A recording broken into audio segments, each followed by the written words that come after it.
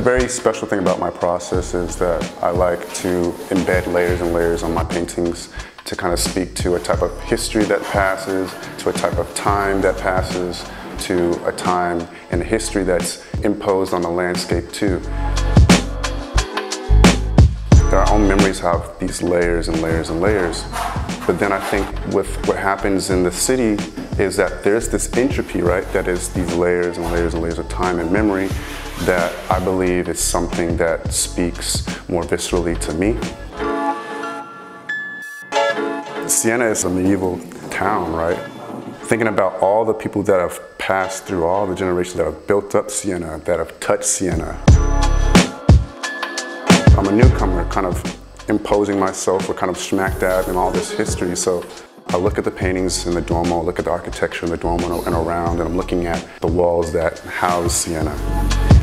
Paying attention to all this history that is crusted on these walls here. And that for me is something that I respond to. And of course, the history of oil painting stems from the Italian Renaissance. So my intersection is using this medium that is very Renaissance based, and then maybe finding a, a contemporary spin on how to enter that material.